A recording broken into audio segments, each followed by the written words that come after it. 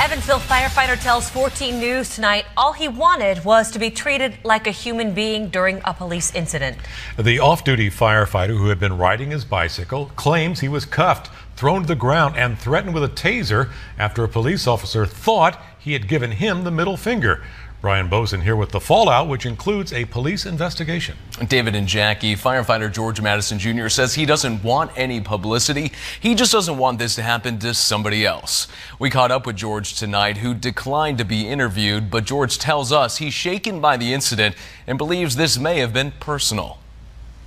This is the picture gone viral. Evansville firefighter George Madison Jr. kneeling on the ground near the corner of Riverside and Weinbach in handcuffs. He tells 14 News he was threatened with a taser and scared by the officer's actions. He called me yesterday afternoon, uh, right after the incident happened. Said he was on his bicycle, went through a stop sign, saw a police car, and uh, said that he waved at the officers, but he thinks the officers thought he was flipping them off. Police Chief Billy Bolin, who is friends with Madison, says the incident is now under investigation. I know him. I like him. I know the officers involved. I like the officers involved. So it, my job's to try to figure out the truth no matter who you like. In a Facebook post, the youth pastor and member of the department's Combat Challenge team says he doesn't think race had anything to do with what happened.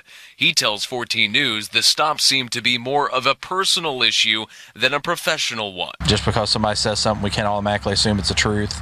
Not saying I'm doubting anything Georgia said, but we got to hear both sides and and get to the bottom of it. Madison says he's not out to create a media storm and wants the investigation to run its course. He tells 14 News there are great guys on our police department.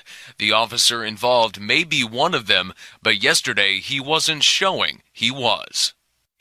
And the EPD released a statement on this today, reading the investigation began this morning in order to preserve the integrity of the investigation and to ensure fairness for all of the involved parties. The EPD will not comment on the incident at this time. Bolin tells us he hasn't spoken with the officers involved and they're not being named yet pending the end at the outcome of the investigation.